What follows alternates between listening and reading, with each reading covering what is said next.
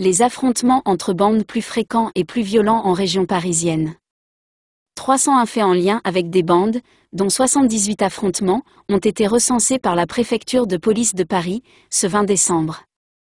Du 1er janvier au 30 septembre 2023, 301 faits en lien avec des bandes ont été recensés par la préfecture de police de Paris, dans l'ensemble de l'agglomération parisienne, a appris le Figaro de la préfecture. Ce chiffre, en augmentation par rapport à l'année précédente, comprend 78 affrontements au total. Au total, 45 bandes ont été identifiées. Ces chiffres prennent en compte les événements impliquant non seulement les bandes ou des groupes identifiés mais aussi des groupes spontanés ou opportunistes, précise la préfecture de police dans son rapport paru ce mercredi 20 décembre. Parmi les échauffourées récentes, un adolescent a été poignardé à mort lors d'une transaction Vinted dans le Val-de-Marne, le 8 décembre dernier. Quelques jours plus tôt, un autre adolescent, âgé de 15 ans, avait aussi été tué d'un coup de couteau au cours d'un affrontement dans le Val d'Oise. Le rapport, qui désigne les bandes comme un groupe composé, au minimum de trois individus, revendiquant un territoire, note ainsi augmentation de la quantité d'affrontements, mais aussi de l'usage d'armes, plus 15%, qui donne à ces heures entre bandes un caractère plus violent. Sur les 301 phénomènes, les individus ont fait usage d'armes, toutes natures confondues, pour la moitié d'entre eux. En comparaison, en 2022, la préfecture de police de Paris avait recensé, sur la même période, 295 phénomènes, soit 6 de moins. Les affrontements violents, au nombre de 86, étaient quant à eux plus importants. Le nombre de blessés et de morts augmente aussi. Au total, sur cette période, la préfecture note que 253 blessés et 4 décès ont été recensés, contre 216 blessés et 2 morts en 2022. Dans son rapport, la préfecture précise que 751 interpellations ont été réalisées et 53 affrontements évités. Face à ce fléau qui augmente, la préfecture détaille aussi les moyens mis en place pour le contrer, et notamment le travail d'une cellule dédiée à ces bandes. Composée de sept policiers, la cellule bande effectue ainsi un recensement et un suivi des groupes potentiellement violents. Qui est Agnès Firmin-Lebaudot, la nouvelle ministre de la Santé par intérim? Après l'adoption de la loi immigration, votée au Parlement mardi 19 décembre 2023, le ministre de la Santé, Aurélien Rousseau, a démissionné. Mercredi 20 décembre 2023, Olivier Véran, le porte-parole du gouvernement, a annoncé qu'il serait remplacé par Agnès Firmin-Lebaudot. Après plus d'une semaine de négociations entre la droite et la majorité, le projet de loi immigration pour contrôler l'immigration et améliorer l'intégration a été adopté mardi 19 décembre 2023. Le texte proposé par Gérald Darmanin a été remanié en commission mixte paritaire et voté au Parlement. Interrogée par BFM TV à l'Assemblée nationale le jour du vote, Marine Le Pen a salué une avancée idéologique, une victoire même idéologique du Rassemblement national qui donne un avantage aux Français par rapport aux étrangers présents sur notre territoire dans l'accès à un certain nombre de prestations sociales, au micro de nos confrères. Après cette décision, le HuffPost a relayé une information de l'AFP mardi 19 décembre, qui indiquait que trois ministres avaient évoqué leur démission afin de s'opposer au vote du texte par la majorité présidentielle à l'Assemblée nationale. Parmi eux, la ministre de l'Enseignement supérieur, Sylvie Retailleau, le ministre chargé du logement, Patrice Vergiette et leur homologue Aurélien Rousseau, en charge de la santé. Ce dernier est passé à l'acte. En effet, à l'issue du Conseil des ministres mercredi 20 décembre 2023, le porte-parole du gouvernement Olivier Véran a annoncé que le ministre de la Santé allait être remplacé. Une ministre proche d'Édouard Philippe. Aurélien Rousseau était absent ce matin, a expliqué Olivier Véran depuis l'Élysée mercredi 20 décembre. Il sera remplacé par Agnès Firmin-Lebaudot, actuel ministre délégué chargé de l'organisation territoriale et des professions de santé auprès du ministre de la Santé et de la Prévention, qui assurera l'intérim, a ajouté le porte-parole du gouvernement. Âgée de 55 ans, Agnès Firmin-Lebaudot a été investie au gouvernement par les Républicains lors de la campagne législative de 2017. Résidente du ministère de la Santé depuis juillet 2022, la quinquagénaire est une pharmacienne de métier. Elle était d'abord en charge du sport, puis de la sécurité au sein de la municipalité du Havre sous le mandat d'Antoine Ruffnacht et ensuite d'Édouard Philippe.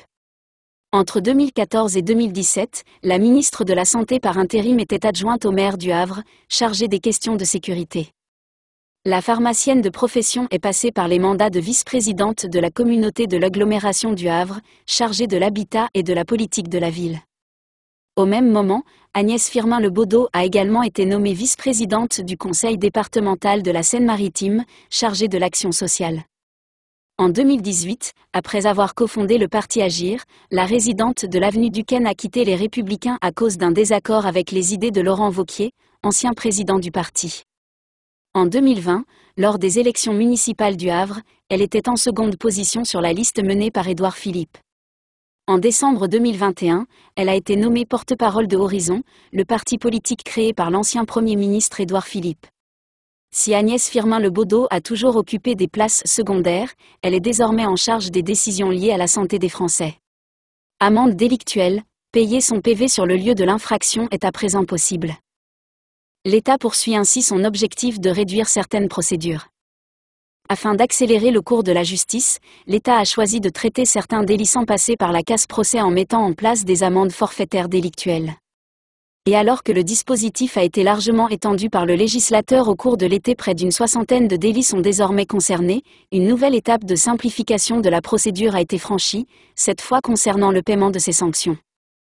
Réglé en direct conduite sans assurance, sans permis ou sous l'empire de stupéfiants, occupation illicite d'un hall d'immeuble ou encore vente à la sauvette, tous ces délits constatés par un agent verbalisateur donnent lieu à une amende forfaitaire délictuelle en remplacement de poursuites judiciaires.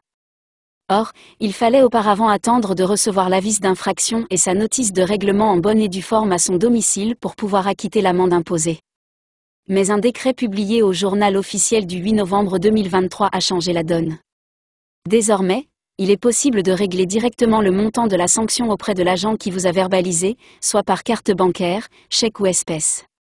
Attention cependant à ne pas agir dans la précipitation. En effet, ce paiement équivaut à reconnaître votre culpabilité et met donc fin à toute possibilité de contestation. A l'inverse, si vous ne réglez pas l'amende, l'affaire fera l'objet d'un traitement judiciaire. Si vous choisissez de payer le montant de l'infraction sur place, sachez que la somme sera minorée, tout comme c'est le cas pour un versement dans les 15 jours, et veillez à obtenir une quittance de paiement en version papier ou dématérialisée pour éviter tout souci ultérieur.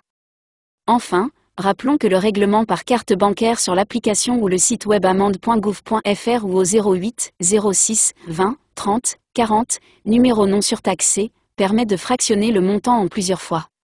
À titre d'exemple, la sanction pour la consommation de stupéfiants au volant est ainsi de 200 euros, minorée à 150 euros en payant rapidement, contre 800 euros minorée à 640 euros pour une conduite sans permis. Comment éviter de vous faire avoir par l'arnaque au bois de chauffage? Dès que le froid revient, les escrocs relancent leur arnaque saisonnière au bois de chauffage.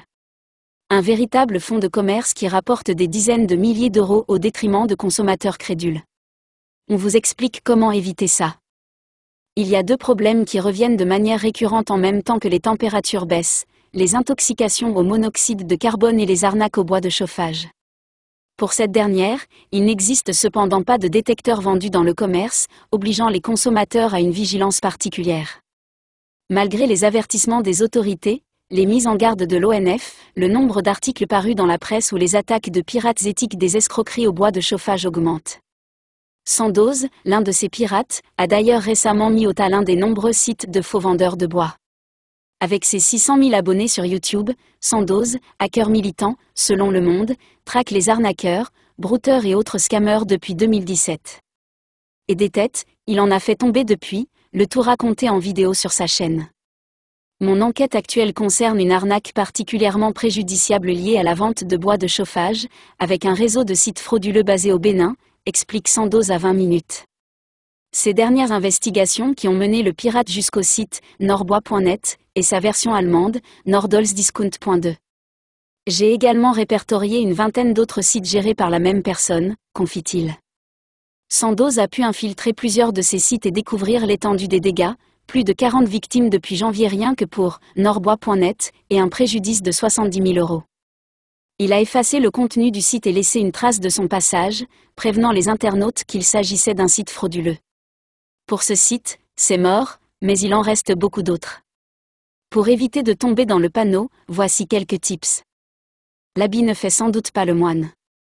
Sans trop se fouler, il est possible de créer un site plus vrai que nature, tant dans son design que dans son contenu. Souvent, les arnaqueurs n'inventent rien et se paient une crédibilité en usurpant l'identité de véritables entreprises, comme c'est le cas pour norbois.net. Vérifiez la date de création du site. Les faux sites ont tendance à être récemment créés. Et utilisez des outils tels que WA ou ScamDoc pour examiner les détails du domaine, conseil sans dose. Sur ScamAdvisé, l'analyse de norbois.net montre que le propriétaire du site web utilise un service pour masquer son identité, qu'il est très jeune ou qu'il semble être hébergé par une entreprise ayant une mauvaise réputation. Même si un site semble professionnel avec des mentions légales, cela ne garantit pas sa légitimité. Faites des recherches approfondies sur l'entreprise prétendument derrière le site, ajoute Sandoz. Entrez simplement dans pagejaune.fr, l'adresse postale inscrite sur le site suspect vous aidera aussi. Soit cela ne renvoie à rien et vous êtes fixé, soit cela renvoie vers la véritable entreprise avec laquelle vous pourrez traiter. Il vaut mieux être parano que tomber dans le panneau. Les arnaqueurs attirent souvent les victimes en proposant des offres alléchantes et des prix très bas. Généralement, les faux sites vont casser les prix à la limite du ridicule pour attirer les victimes, affirme Sandoz par expérience. Si une offre semble trop belle pour être vraie, elle l'est probablement. Sur le site norbois.net, par exemple, le ster de bûche de hêtre ou de charme était proposé à 63 euros. Contacté par 20 minutes, l'ONF estime que le prix actuel du marché est plutôt de 90 euros le ster dans les Hauts-de-France, et même 120 euros en Belgique. Un prix défiant toute concurrence, avec la livraison gratuite, qui a poussé Kevin, un habitant du Pas-de-Calais, à commander et payer 10 sters sur le site frauduleux. Il vaut mieux être parano que tomber dans le panneau, martèle le hacker. Cela ne vaut d'ailleurs pas que pour les sites proposant du bois de chauffage. Il y a peu encore, certains indices ne trompaient pas, faute d'orthographe à l'appel, graphisme douteux, copier-coller de conditions générales de vente de vrais sites en oubliant de changer le nom. Avec l'essor de l'intelligence artificielle, les faux sites peuvent désormais paraître très professionnels, poursuit-il. Utilisez des moteurs de recherche pour trouver des avis sur le site. Là encore, il faut fouiller avant de passer commande. Utilisez des moteurs de recherche pour trouver des avis sur le site, des retours d'expérience d'autres utilisateurs, et assurez-vous que le site n'est pas répertorié comme une arnaque sur des plateformes dédiées, conseil encore sans dose. Et ne pas cliquer aveuglément sur le premier résultat sponsorisé Google. On l'a fait pour vous et ça n'a pas loupé. En recherchant bois de chauffage dans le moteur de recherche, on tombe en premier sur le site sponsorisé sterexpress.fr. C'est une arnaque, usurpation de la vraie entreprise, Sters Express. Selon des informations recueillies lors de son intrusion dans le site norbois.net, Sandoz affirme en effet que les escrocs s'offrent régulièrement les services d'agences spécialisées pour lancer des campagnes publicitaires et de référencement. Alors méfiance, parce qu'une fois votre argent parti, vous ne le reverrez sans doute jamais la Banque Postale ferme sa banque en ligne. La filiale bancaire du groupe La Poste a engagé lundi une procédure d'information et de consultation auprès des syndicats. Stéphane de Deyan ne perd pas de temps. Deux mois seulement après avoir pris les rênes de la Banque Postale, en remplacement de Philippe Heim, il envisage de premières mesures pour redresser les comptes. La filiale bancaire du groupe La Poste a ainsi annoncé mercredi étudier le projet de cessation des activités de sa banque en ligne Ma French Bank. Une procédure d'information et de consultation des syndicats a été lancée en ce sens. En cas de cessation d'activité, les 161 salariés de l'établissement en ligne se verraient proposer de poursuivre leur carrière au sein du groupe. Quant aux 750 000 clients de la banque, ils seraient réorientés vers la banque postale. Lancée en 2019 pour attirer de jeunes clients, ma French Bank n'a jamais atteint les objectifs qui lui avaient été fixés. Elle n'a pas atteint la rentabilité et n'a pas encore trouvé son modèle économique, reconnaît la banque postale, dans un communiqué.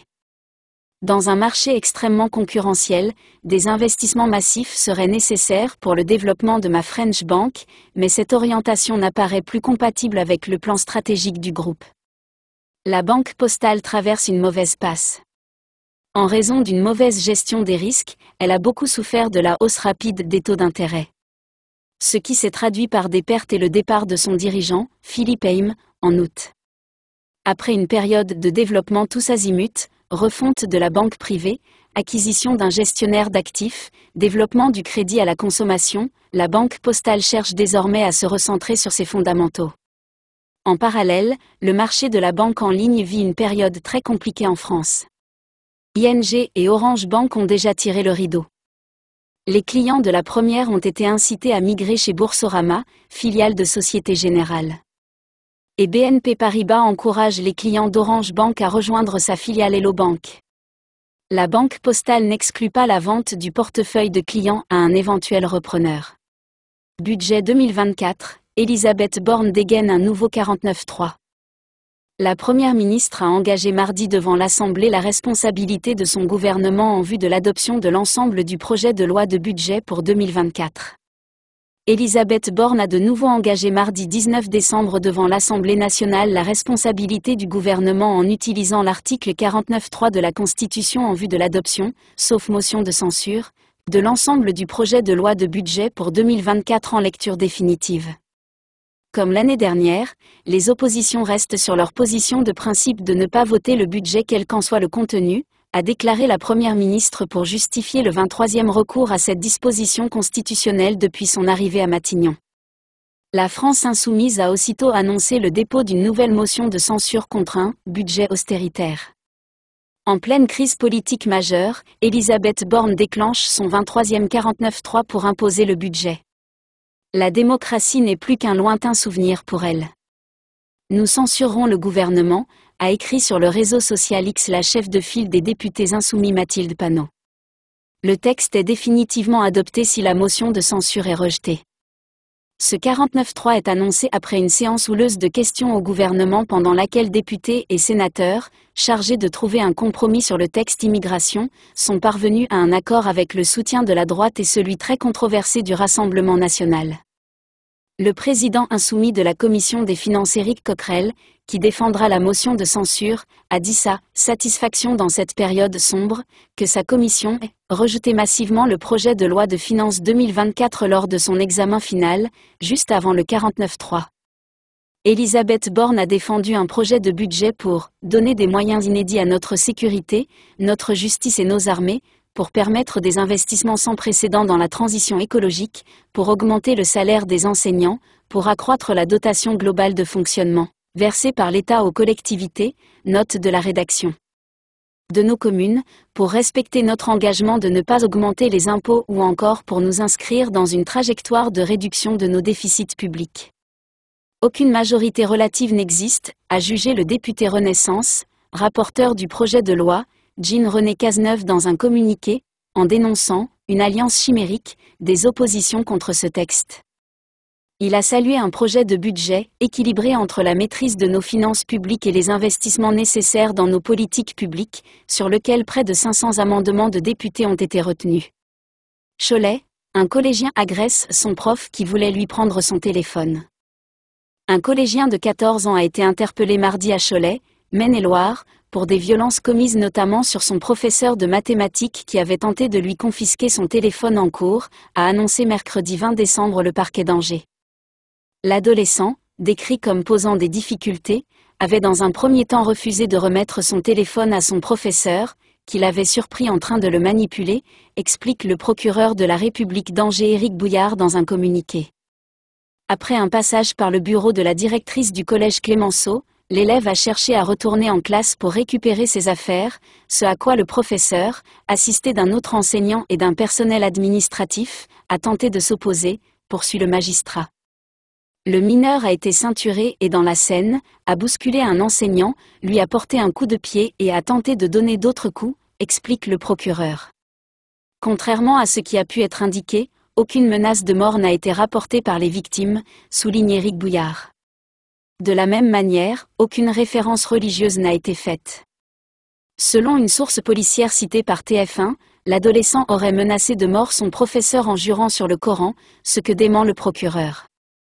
Le collégien, déjà exclu de deux établissements, devait comparaître prochainement devant un conseil de discipline. Remis en liberté, il va être convoqué devant un juge des enfants pour outrage sur personne chargée d'une mission de service public et violence dans un établissement scolaire, indique le procureur. Pour Édouard Philippe, le compromis entre la majorité et LR ne vient pas modifier les éléments essentiels à S, yeux du pacte républicain. Édouard Philippe est venu mardi au secours de son camp accusé de compromission avec le Rassemblement national. L'ancien Premier ministre a défendu le projet de loi immigration, un compromis entre la majorité et LR, selon lui. Le président du parti Horizon, ancien membre de LR ayant rejoint Emmanuel Macron en 2017, ne croit, t, pas du tout, à une compromission avec le Rassemblement national, a-t-il affirmé dans l'émission quotidien sur TMC. Le RN, il n'est pas dans le compromis qui a été discuté. Il n'est pas au Sénat. Il y a deux sénateurs RN au Sénat, a-t-il constaté. J'assume le compromis. Je considère que ce texte de compromis ne vient pas modifier les éléments essentiels à mes yeux du pacte républicain, et que, il crée des instruments dont nous avons besoin. Donc j'assume le compromis, a insisté Édouard Philippe. J'ai toujours dit que j'étais favorable, et même, extrêmement attaché à l'aide médicale d'État, âme. Je n'aime pas les mesures de déchéance de nationalité. Mais, je ne crois pas que même avec des mesures qui ne m'enchantent pas complètement, ce texte mérite d'être rejeté, a-t-il argumenté. Philippe admet un malaise dans la majorité. Interrogé sur la caution demandée aux étudiants étrangers, qu'il venait de défendre au moment même où Emmanuel Macron déclarait qu'elle n'était pas une bonne idée, Édouard Philippe a répondu C'est le problème des textes de compromis. Mais qu'est-ce que vous voulez que je vous dise? Moi, je ne me serais pas battu dessus, mais j'assume le fait que les députés de mon groupe l'ont voté. S'il admet un malaise dans la majorité, l'ancien Premier ministre a estimé que le monde politique parisien, parlementaire, le monde médiatique qui va autour. On va dire qu'il s'emporte, parfois, et qu'il surréagit. Mon intuition, c'est qu'une assez large majorité de Français se retrouve dans les objectifs qui ont été défendus avec cette loi, à mon avis dans les équilibres qu'elle essayait de tenir, et probablement dans le compromis auquel on est arrivé, a-t-il ajouté. Par ailleurs, à la question, êtes-vous macroniste? Édouard Philippe s'est défini comme un membre loyal de la majorité, avec une liberté de ton à laquelle il tient, t. Pas macroniste, donc? Non. Voilà, j'ai créé mon parti.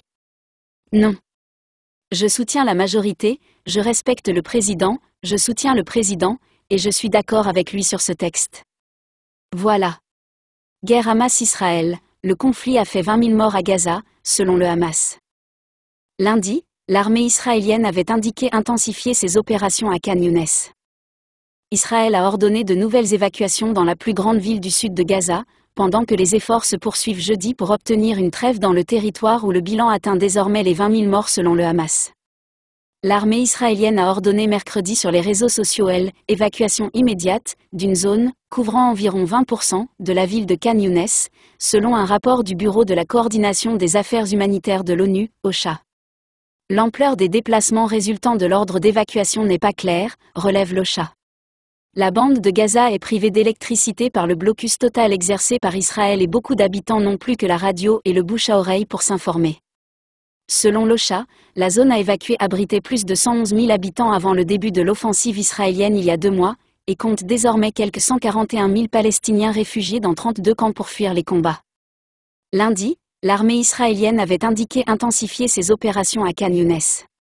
Israël a promis de détruire le Hamas en représailles à l'attaque sans précédent menée le 7 octobre par le mouvement islamiste sur son sol, qui a fait environ 1140 morts, en majorité des civils, selon un décompte de l'AFP basé sur les derniers chiffres officiels israéliens. Environ 250 personnes avaient en outre été prises en otage, dont 129 sont toujours détenues à Gaza, selon Israël. Le gouvernement du Hamas a annoncé mercredi que les opérations militaires israéliennes avaient fait 20 000 morts à Gaza depuis le début de la guerre, dont au moins 8 000 enfants et 6 200 femmes. Efforts diplomatiques. Des efforts diplomatiques ont actuellement lieu sur plusieurs fronts pour tenter de parvenir à une nouvelle trêve et acheminer de l'aide humanitaire à Gaza. Une première pause d'une semaine entre le 24 novembre et le 1er décembre avait permis la libération de 105 otages et de 240 Palestiniens détenus par Israël. D'un côté, le Hamas discute avec l'Égypte. Le chef du mouvement palestinien, Ismail Haniyeh, s'est rendu au Caire mercredi pour discuter d'une nouvelle trêve provisoire d'une semaine en échange de la libération par le Hamas de 40 prisonniers israéliens, des femmes, des enfants et des hommes, a expliqué une source proche du Hamas à l'AFP. Mais ces négociations n'ont pour l'instant livré aucun résultat, ont confié des sources proches du dossier à la BBC et au Wall Street Journal. Selon une source du djihad islamique, un autre mouvement islamiste qui combat aux côtés du Hamas et détient des otages, son chef Ziad al-Nakala ira également au Caire au début de la semaine prochaine.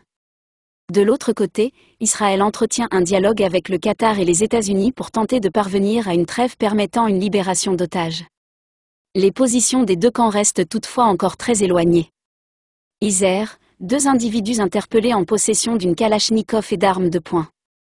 Ces deux personnes sont en lien avec des trafiquants de drogue d'un quartier de Grenoble, où a eu lieu une fusillade samedi, pour reconquérir un point de deal, selon le parquet. Double arrestation en Isère deux individus âgés d'une vingtaine d'années ont été interpellés la nuit dernière à la Tronche, commune limitrophe de Grenoble, en possession d'un fusil de guerre et d'armes de poing, a appris le Figaro de sources judiciaires ce mercredi 20 décembre, confirmant une information du Dauphiné libéré.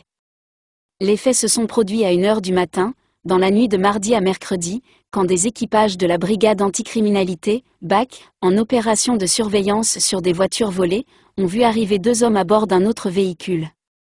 Les individus ont alors ouvert le coffre d'une automobile volée, avant d'en sortir un véritable arsenal, un fusil d'assaut de type Kalachnikov et un pistolet automatique. Les policiers de la BAC procèdent alors rapidement à leur interpellation et les placent en garde à vue.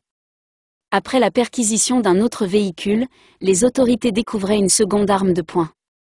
Les deux individus sont, très défavorablement connu de la justice, notamment pour trafic de stupéfiants, indique le procureur de la République de Grenoble, Éric Vaillant. Ils sont en lien avec des trafiquants de drogue du quartier de l'Alma, à Grenoble, où a eu lieu une fusillade samedi 16 décembre pour reconquérir un point de deal. Il est toutefois encore trop tôt pour lier les suspects à cette fusillade. Une enquête a été ouverte et confiée au service de police judiciaire de Grenoble. Léonore d'Espagne, juste avant Noël, elle suit un entraînement militaire dans les Pyrénées. C'est sous la neige que Léonore d'Espagne a choisi de passer ses derniers jours avant de célébrer les fêtes de fin d'année. Mardi 19 décembre, la princesse héritière a posé ses valises dans une station de ski des Pyrénées aragonaises pour suivre un entraînement militaire intensif. Plus que quelques jours avant que la princesse des Asturies ne retrouve ses parents, Laetitia et Felipe Si d'Espagne, ainsi que sa petite sœur, l'infante Sofia. Mais avant d'entamer les vacances de Noël, Léonore d'Espagne continue sa formation à l'Académie militaire de Saragosse. La dernière fois qu'elle était rentrée au palais c'était pour assister à l'ouverture de la nouvelle législature des Cortés. Une étape importante pour cette future reine qui vient de fêter ses 18 ans, puisque c'est la première fois qu'elle participe à un tel événement. C'est une cérémonie qui se fait plutôt rare au sein de la vie politique du pays. Contrairement à d'autres monarchies, l'ouverture du Parlement espagnol ne se fait pas à chaque rentrée. Elle a lieu uniquement lorsqu'un nouveau chef de gouvernement est désigné. C'était une chance pour la princesse de pouvoir y assister l'année de ses 18 ans. Direction les montagnes. Il semblerait que la semaine avant les vacances de Noël se termine en beauté pour la princesse des Asturies. D'après point de vue, mardi 19 décembre, la fille du roi Felipe VI et de la reine Laetitia d'Espagne a posé ses valises dans la station de ski d'Eostin dans les Pyrénées aragonaises. Une sortie scolaire de deux jours, organisée avec ses camarades de l'Académie militaire de Saragosse. Mais pendant ce séjour il n'est pas question de faire du tourisme. Léonore d'Espagne ainsi que les autres élèves de l'Académie sont là pour suivre un entraînement militaire intensif. Un exercice obligatoire dans la formation de la jeune femme. Ski au pied, vêtue de son treillis et d'un bonnet kaki, la princesse des Asturies écoute attentivement les instructions du commandant en chef. Un exercice particulier, au milieu des montagnes et sous la neige. De quoi commencer à se plonger dans l'atmosphère de Noël. Interview d'Emmanuel Macron, il faut traiter les problèmes qui nourrissent le Rassemblement national. C'est dans l'émission C'est à vous sur France 5 que le président de la République s'est expliqué ce soir sur le texte de la loi immigration votée hier dans la douleur au lendemain d'une soirée parlementaire douloureuse pour le camp de la majorité et les parlementaires de l'aile gauche de l'Assemblée nationale, Emmanuel Macron a décidé de prendre la parole dans le talk show du début de soirée de France 5. Il en a profité pour défendre ce texte de compromis et a affirmé que cette loi constituait un bouclier qui nous manquait, et que le texte représente une réponse aux problèmes qui nourrissent les ambitions du Rassemblement national.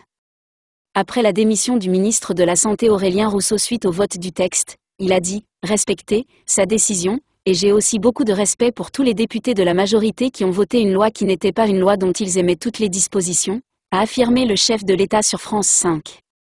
L'adoption de ce projet de loi controversé sur l'immigration, voté par l'extrême droite qui revendique une victoire idéologique, a fracturé la majorité présidentielle.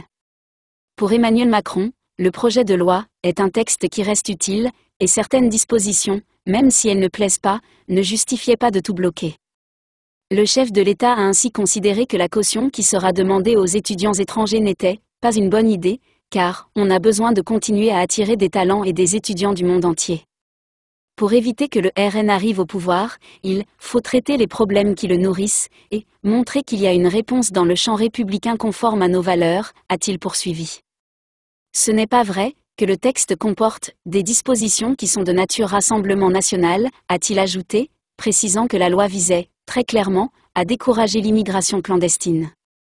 Le chef de l'État assure ainsi que l'adoption du projet de loi constitue au contraire une défaite pour le parti de Marine Le Pen, en réponse aux accusations de compromission avec l'extrême droite. Mais s'il estime qu'il y a un problème d'immigration, en France, on n'est pas dépassé par l'immigration, a-t-il affirmé. En plus de la loi immigration, le président s'est aussi exprimé sur la laïcité, le projet de loi sur la fin de vie ou encore le conflit entre le Hamas et Israël. Immigration, Rassemblement national, fin de vie, Israël.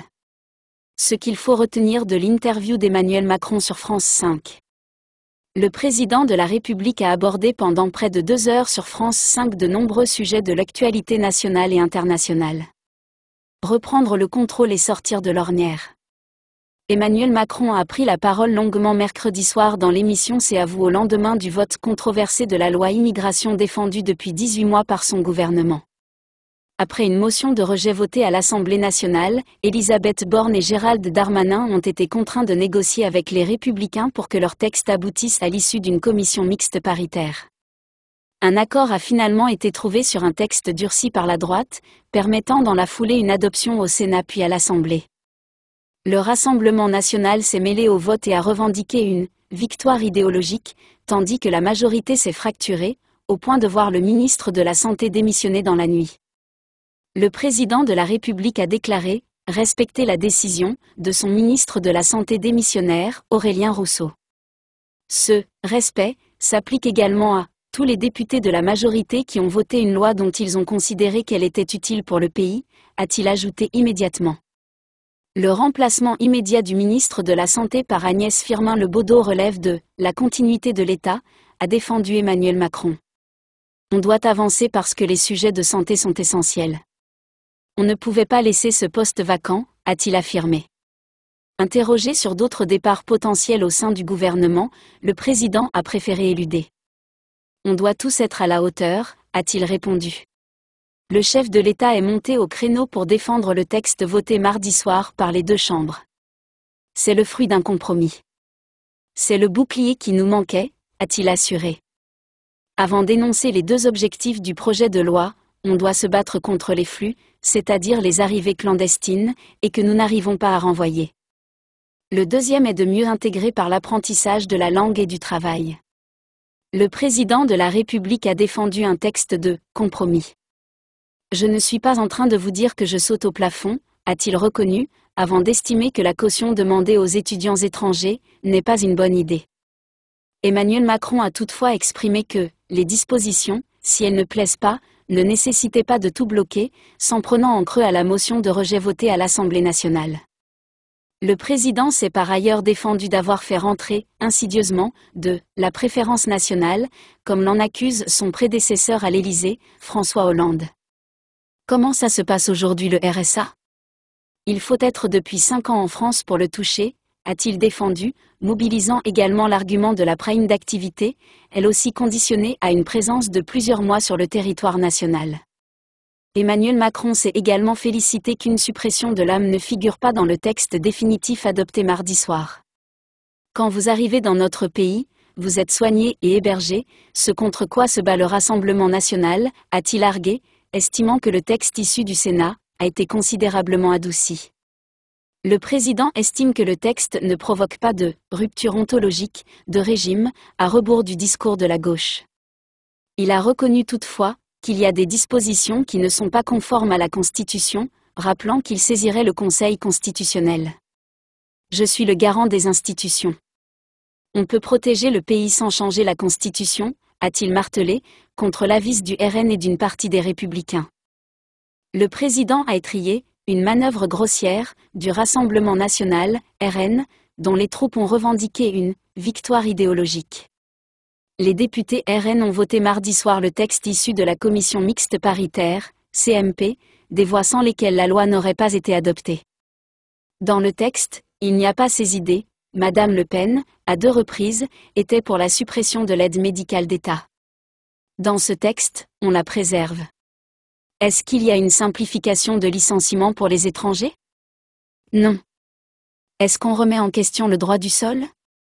Emmanuel Macron juge au contraire que la loi va permettre de lutter contre ce qui nourrit le Rassemblement national.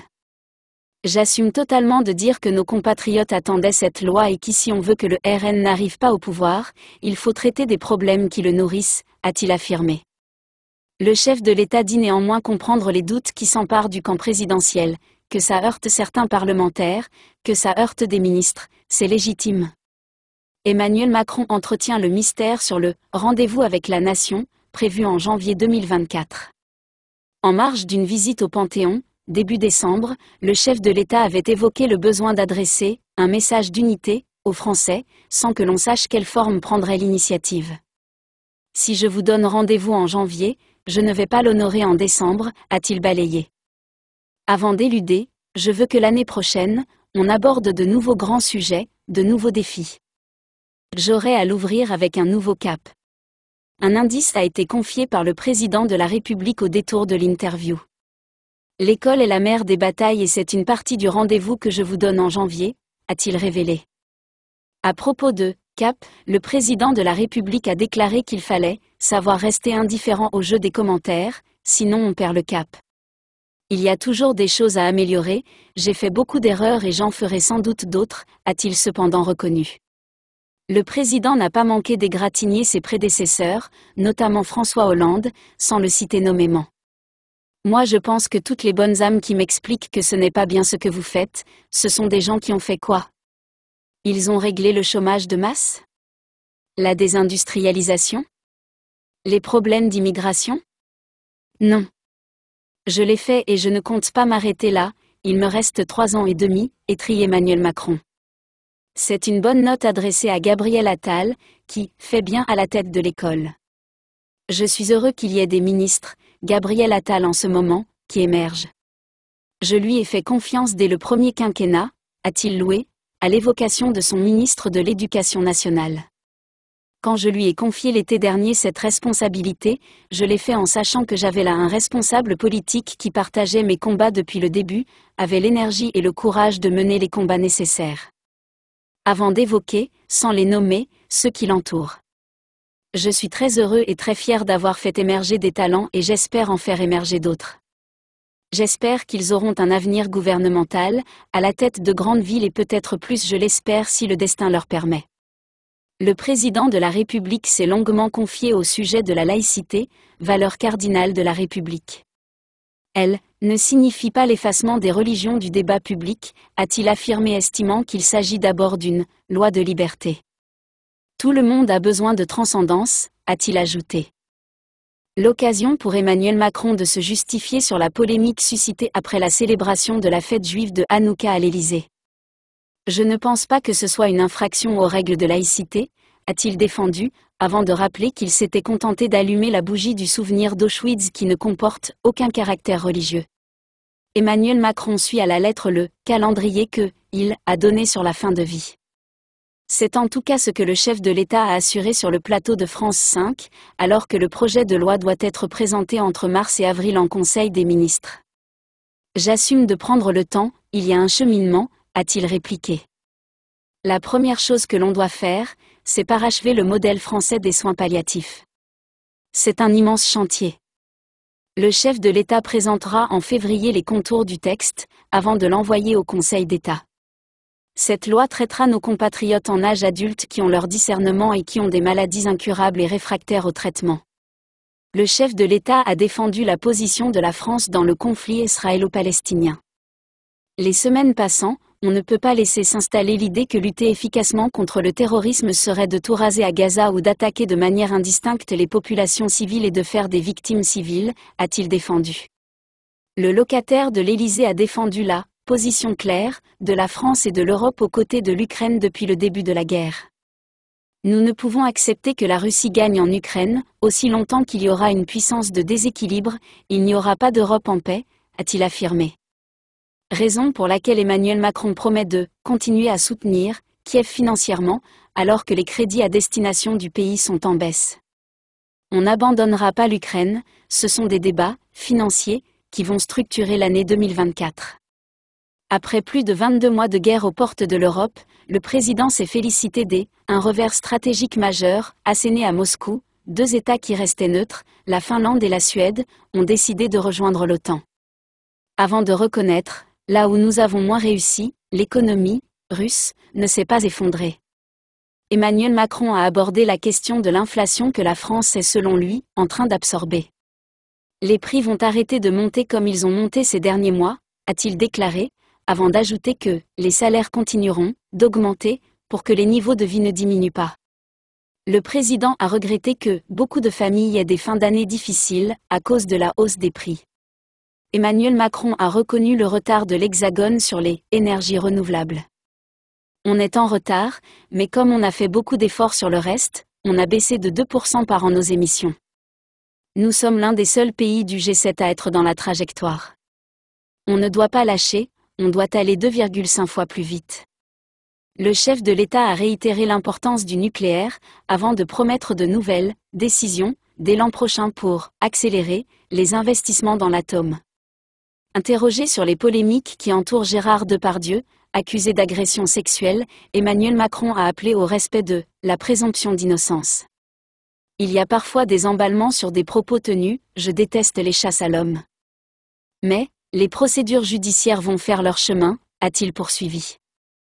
Le chef de l'État a corrigé les propos de sa ministre de la Culture, Rima Abdul Malak, qui a assuré qu'une procédure disciplinaire, serait engagée pour retirer à l'acteur sa Légion d'honneur. La Légion d'honneur est un ordre qui n'est pas là pour faire la morale. Ce n'est pas sur la base d'un reportage qu'on enlève la Légion d'honneur à un artiste, à ce tarif-là, on aurait retiré la Légion d'honneur à beaucoup d'artistes.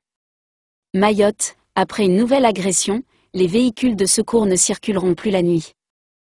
Le SAMU de Mayotte n'engagera jusqu'à nouvel ordre plus de véhicules de secours la nuit, après l'agression d'une de ses équipes dans la nuit de lundi à mardi, a appris l'AFP, alors que la situation sécuritaire est très difficile sur l'archipel. Selon Nora Oulery, la directrice du SAMU au centre hospitalier de Mayotte, CHM, une équipe du SMUR, structure mobile d'urgence et de réanimation, en intervention dans le nord de l'île a été attaquée à 3 heures par trois hommes qui ont réussi à s'introduire dans la cabine de pilotage après avoir installé un barrage improvisé. Si l'agression n'a pas fait de blessés, elle a causé une indéniable violence psychologique, a-t-elle déclaré à l'AFP. C'est ma responsabilité d'engager ces humains et il n'est plus tolérable de risquer sa vie dans le cadre de ses fonctions. Plus personne ne sort à la tombée de la nuit, jusqu'à nouvel ordre, a-t-elle ajouté, disant avoir adressé un courrier prévenant la direction du CHM et à l'Agence régionale de santé, ARS. La direction du CHM n'était pas joignable dans l'immédiat et l'ARS n'a pas souhaité s'exprimer officiellement. Depuis près d'un mois, le 101e département français assiste à une montée en puissance de la violence, marquée par des affrontements entre groupes de jeunes de villages rivaux. Celle-ci a entraîné la mort d'un adolescent de 17 ans par arme à feu le 10 décembre, puis celle d'un jeune poignardé dans la nuit du 15 au 16. Dans une tribune publiée mardi mais en préparation depuis plusieurs jours, signée par plus de 800 personnes, les soignants de Mayotte ont dénoncé une situation qui se dégrade de jour en jour. Notre quotidien est dicté par une délinquance sévissant en toute impunité, dans une situation quasi insurrectionnelle, écrivent-ils, reprochant l'absence de réponse des services de l'État. Aujourd'hui nous ne tenons plus le coup, nous risquons notre vie, sans espoir ni perspective d'amélioration. Jeudi dernier, une centaine de soignants avaient manifesté à Mayotte pour dénoncer l'insécurité, avant de rencontrer le préfet Thierry Suquet.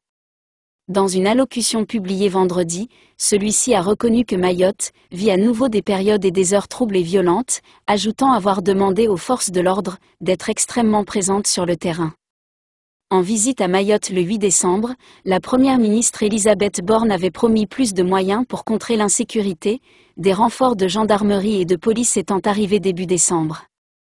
Cinq ans après avoir fait ses cartons, le RN rouvre une permanence à Nice.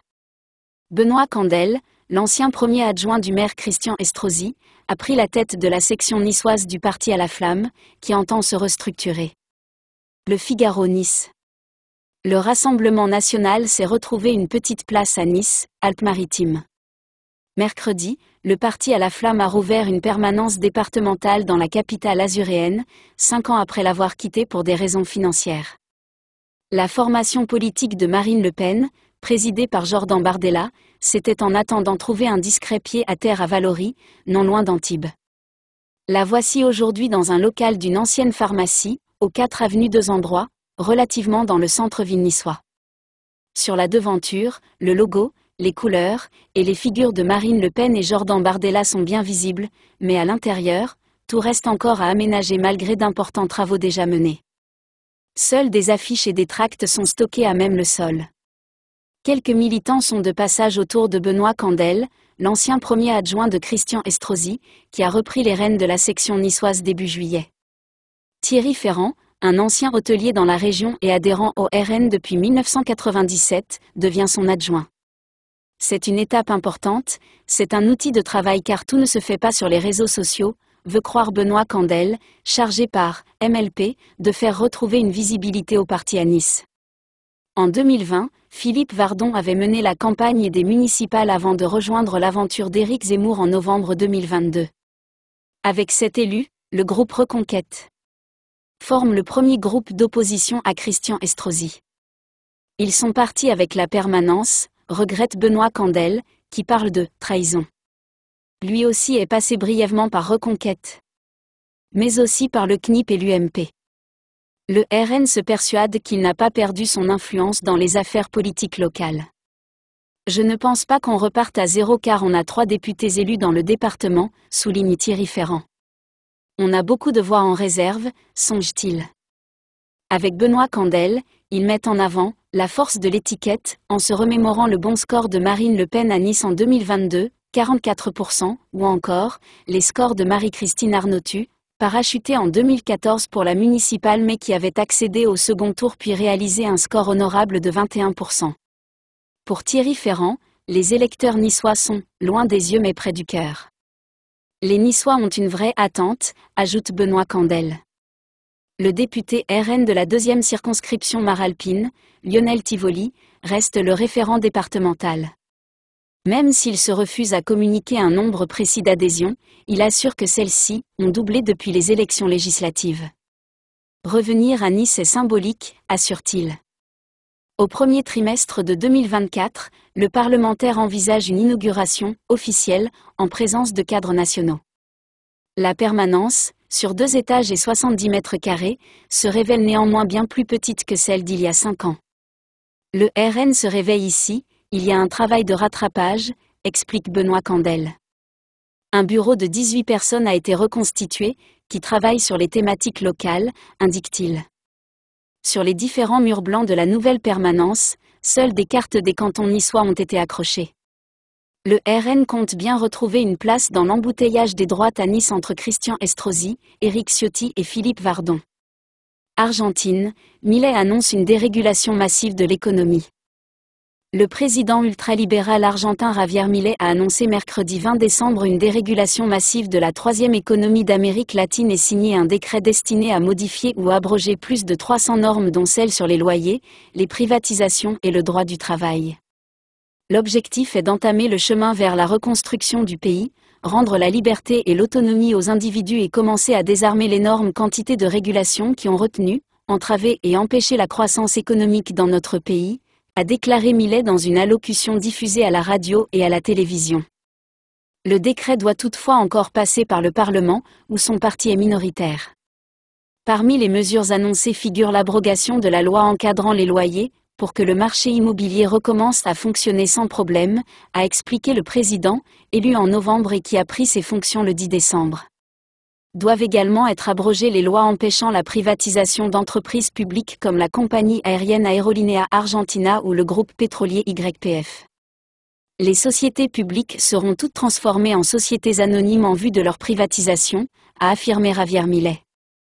Le chef de l'État a aussi annoncé une modernisation du droit du travail, pour créer plus d'emplois, la modification de la loi sur les sociétés pour que les clubs de football puissent se transformer en sociétés anonymes, et une longue série d'autres mesures de dérégulation dans les secteurs du tourisme, de la santé, d'Internet, du transport aérien, de la pharmacie, de la viticulture ou encore du commerce. Le décret a été publié à minuit au journal officiel. Il devra être examiné dans les dix jours par une commission mixte composée de députés et de sénateurs, mais ne sera invalidé que s'il est rejeté par les deux chambres du Parlement, a expliqué à l'AFP l'avocat constitutionnaliste Emiliano Vitaliani. Le parti d'extrême droite de Millet, la Libertad Avanza, ne compte que 40 sièges sur 257 à la Chambre basse et seulement 7 sièges au Sénat sur 72. Il devra donc chercher des soutiens auprès de la coalition de centre droit Junto por el Cambio. À vos souhaits. Parcoursup est ouvert pour les lycéens. Le site d'information de la plateforme d'admission Postbac ouvre ce mercredi aux candidats. C'est le début de la fin pour les quelques 600 000 lycéens en terminale. Parcoursup a ouvert mercredi, trois semaines avant le démarrage des inscriptions le 17 janvier, pour permettre aux candidats de se renseigner sur les formations disponibles. Une nouveauté cette année, la plateforme d'admission Postbac donne la possibilité aux lycéens qui le souhaitent de créer leur profil dès la classe de seconde pour mieux s'orienter. Ces élèves auront accès à une fonctionnalité de comparateur qui leur permettra de s'informer sur le contenu, le statut des formations, le taux de pression, les frais de scolarité, et pourront enregistrer leurs favoris pour les garder en mémoire, a récemment détaillé la ministre de l'Enseignement supérieur Sylvie Retailleau. Le but être en mesure d'examiner les critères de sélection qui les aideront aussi à choisir leur spécialité, au lycée, les trois matières, majeures, choisies par les élèves en première, puis réduites à deux en terminale, et construire leur projet d'orientation plus en amont. 23 000 formations. Dès mercredi, les candidats pourront consulter le moteur de recherche des 23 000 formations disponibles en 2024. Ils auront ensuite du 17 janvier au 14 mars inclus pour faire leur choix parmi toutes ces formations. Pour mieux éclairer les jeunes et réduire le stress, le ministère de l'Enseignement supérieur indique par ailleurs que de nouveaux chiffres clés sur chaque formation seront apportés pour répondre à des questions comme cette formation est-elle peu ou très demandée? ou quel était le profil des candidats qui ont été classés par la formation l'an dernier? Une partie, conseil, sera aussi mise en avant sur les parcours recommandés au lycée pour aller dans telle ou telle formation, ainsi que des conseils donnés par les formations elles-mêmes sur la manière de candidater.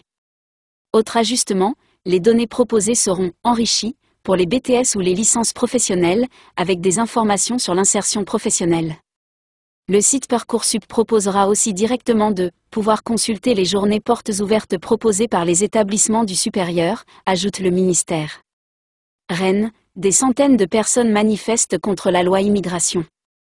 Des manifestations similaires étaient annoncées en début de soirée dans plusieurs villes de France, notamment à Lille, Dijon, Besançon, Chambéry ou Grenoble plusieurs centaines de personnes ont défilé dans le calme au centre-ville de Rennes mercredi en début de soirée, pour dénoncer la loi immigration adoptée la veille par le Parlement, selon des journalistes de l'AFP sur place. Au cri de retrait, retrait de la loi Macron-Le Pen, ou c'est pas les immigrés qui sont de trop, c'est Darmanin et les fachos, les manifestants sont partis en convoi peu après 18h30 en direction de la mairie puis de l'emblématique place Sainte-Anne, lieu de convergence de nombreuses manifestations contre la réforme des retraites. Je trouve que cette loi est contre tous les fondements de la démocratie, s'insurge pour l'AFP Zoé Bobé, étudiante actuellement en service civique.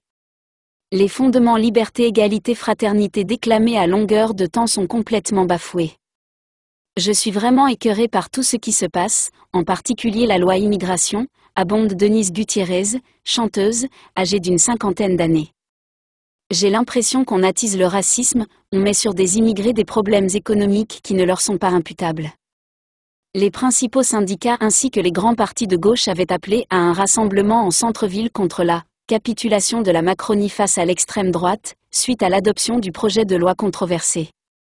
De nombreux jeunes se sont joints à la manifestation, qui s'est déroulée dans une ambiance bon enfant, selon les journalistes de l'AFP. Personne n'est illégal, proclamait une pancarte. De l'air, de l'air, ouvrez les frontières, chantaient plusieurs participants.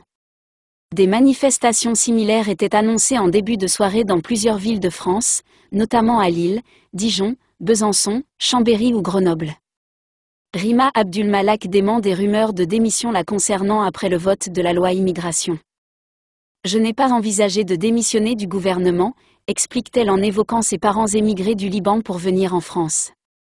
La ministre de la Culture Rima Abdulmalak a démenti mercredi sur son compte Instagram des rumeurs de démission la concernant à la suite de l'adoption du projet de loi controversé sur l'immigration. Contrairement aux rumeurs qui ont circulé, je n'ai pas envisagé de démissionner du gouvernement. Ma détermination à poursuivre mes combats est totale, écrit la ministre dans un long texte publié sur Instagram. Au nom des larmes de mes parents quittant leur Liban natal, au nom de cette France qu'ils ont choisie pour sa devise de liberté, égalité, fraternité, que je ne cesserai jamais de défendre et de servir, vous me trouverez encore rue de Valois tant que le président de la République et la première ministre m'accorderont leur confiance prête à poursuivre ces justes combats, ajoute-t-elle. Sextour, neuf membres d'un réseau de proxénètes chinois arrêtés par la police judiciaire. Le réseau a exploité de nombreuses femmes issues de la communauté chinoise dans l'ensemble du territoire français. Deux étudiants se chargeaient ensuite de blanchir l'argent récolté. Neuf personnes soupçonnées d'appartenir à un réseau de proxénètes au sein de la communauté chinoise ont été mises en examen et placées en détention provisoire pour proxénétisme aggravé en bande organisée, association de malfaiteurs et blanchiment d'argent, le 12 décembre, a appris le Figaro de l'Office central pour la répression de la traite des êtres humains, OCRTE, qui a piloté l'enquête avec la police judiciaire. Le réseau, décrit comme un sex-tour, opérait dans plusieurs endroits de France, en région parisienne, à Sens, Yonne et Clermont-Ferrand, précise l'OCRTE. Sept des mis en examen, qui ont entre 35 et 50 ans, sont soupçonnés d'avoir géré la partie proxénétisme du réseau et deux autres, âgés d'une vingtaine d'années, d'avoir blanchi l'argent de la prostitution. Quatre victimes ont quant à elles été appréhendées puis entendues par les enquêteurs. Les proxénètes sont des hommes mais aussi des femmes. On a dénombré plusieurs couples. Les hommes s'occupaient de la partie logistique du réseau et les femmes dépassent dans les logements, détaille Lénaïg Lebaille, la chef de l'Ocretet, qui note une augmentation de ce trafic dématérialisé depuis la crise sanitaire. Les victimes étaient recrutées sur les réseaux sociaux et le trafic se déroulait principalement via des sites de rencontres à caractère sexuel, ce qui démontre, poursuit-elle, une ubérisation de la prostitution sur Internet. Étaient ensuite loués des logements dans différentes villes, pour des périodes très courtes, et dont il mentionnait la localisation, qui changeait au gré du déplacement très fréquent des victimes par les proxénètes. Ainsi, les victimes ne pouvaient tisser aucun lien autour d'elles, elles étaient alors plus vulnérables, souligne la commissaire, qui précise que le réseau représentait une dizaine de prostituées, contraintes de faire des passes à la chaîne, potentiellement toute la journée. L'argent du trafic était ensuite blanchi par deux shoppers, c'est-à-dire des personnes chargées de faire disparaître l'argent en achetant des biens de luxe de marque française. Les articles étaient ensuite envoyés en Chine pour être revendus. Lors des perquisitions, 240 000 euros de biens ont été saisis par les enquêteurs, ainsi que 60 000 euros en espèces et sur des comptes bancaires. Les sommes ne sont pas si considérables, car l'argent était blanchi très rapidement par le réseau, précise Lénaïg Lebaille, qui ajoute que l'enquête doit désormais se tourner vers une coopération avec la Chine pour remonter l'intégralité de la filière. Les enquêteurs ont été mis sur la piste de ce réseau en 2021, après la plainte d'une victime pour des faits de violence, dans le sud de la France. Le parquet de Toulon avait alors été saisi, et l'enquête avait conduit à l'incarcération puis à l'expulsion vers la Chine de sa proxénète. C'est en travaillant sur ces deux personnes que l'on a pu remonter l'entourage, puis la filière, explique Lénaïg Lebaille, qui précise qu'à partir de là, les chefs du réseau ont été rapidement localisés en région parisienne et les investigations confiées à un juge d'instruction de Bobigny. Star Academy, surprise. TF1 décide de rallonger l'émission de deux semaines. Cela fait déjà près de cette semaine que la compétition Star Academy bat son plein. Les audiences et les rentrées publicitaires sont au rendez-vous ce qui aurait poussé TF1 à réallonger le programme. Pour cette onzième saison de la Star Academy, c'est au départ 16 candidats qui avaient été sélectionnés pour participer. Malheureusement quelques jours avant la réouverture du château de Damary-Lélis, TF1, qui faisait face à quelques restrictions budgétaires, a dû revoir ses effectifs. Ce sont finalement 13 élèves qui ont ainsi intégré l'aventure Star Academy le 4 novembre dernier. Une déception considérable pour les trois élèves évincés dont Thomas, qui s'était exprimé sur Sud Radio. Le jeune chanteur était revenu sur sa mésaventure avec le casting du programme d'Andemol. Depuis le 21 septembre dernier, je sais que je fais officiellement partie des 16 candidats. À partir de ce moment, tout s'enchaîne. On m'envoie les contrats à signer, des équipes viennent dans le sud pour filmer mon portrait. On m'annonce la chanson que je vais chanter pour le 4 novembre, décrit-il avant d'en venir au fait on m'annonce brutalement, 12 jours avant le lancement de l'émission que pour des raisons de réduction budgétaire ils ont dû réduire le nombre d'émissions. Passant de 13 à 11 semaines et donc naturellement réduire le nombre de candidats. Passant de 16 à 13, lâche-t-il. Un véritable coup de massue. Et les récentes décisions prises par TF1 ne devraient pas aider à faire passer la pilule. TF1 veut rallonger l'émission de deux semaines. Clément Garin a dévoilé, sur son compte Instagram, une nouvelle qui ne devrait que très peu plaire aux trois candidats évincés quelques jours avant le lancement.